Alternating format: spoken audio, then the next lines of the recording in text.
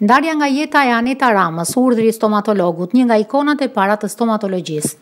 Urdhri i stomatologut të Shqipërisë ka reaguar me një mesazh për ndarjen nga jeta të nënës së kryeministrit Edi Rama, Aneta. Teksa vlerësohet roli i saj, kujtohet se Aneta Rama ishte një ndër mjeket stomatologe të para në vend. Mesazhi i plotë. Sot u nda nga jeta mjekja stomatologe nderi i stomatologjisë shqiptare Doktoresha Aneta Rama. Doktoresha Aneta lindi në qytetin e Vlorës, në një shtator një mijë e nëntëqind e tridhjetë e nëntë. Shkollën dhe arsimin e mesëm e mbaroi në qytetin e lindjes me rezultate ekselente. Doktoresha Aneta ishte dhe një sportiste e talentuar në katër lloje sportesh. Në vitin një mijë e nëntëqind e pesëdhjetë e pesë filloi studimet në një nga universitetet më me emër të Polonisë, dhe i mbaroi me rezultate të shkëlqyera në vitin një mijë e nëntëqind e gjashtëdhjetë e një. Pasi u diplomua si mjeke stomatologe, filloi punë në Poliklinikën e qytetit të Vlorës. Doktoresha Aneta më vonë ka punuar në kryeqytet duke drejtuar Poliklinikën Dentare e specializuar në radiologji e fizioterapi stomatologjike.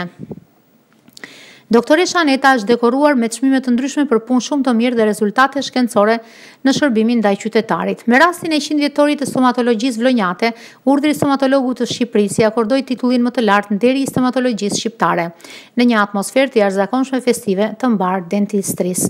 Sot stomatologjia shqiptare humbi një nga ikonat e para të themelimit të këtij shërbimi elitar në vendin tonë. Familja humbi njeriun e saj të dashur, nënën, gjyshen, dhe njeriun që do ta kujtojnë tërë jetën. Në emër të Urdhrit të Stomatologut të Shqipërisë i shpreh ngushëllime familjes, miqve dhe kolegëve të doktoresh Anetës. U prehsh në paqe doktoresh Aneta.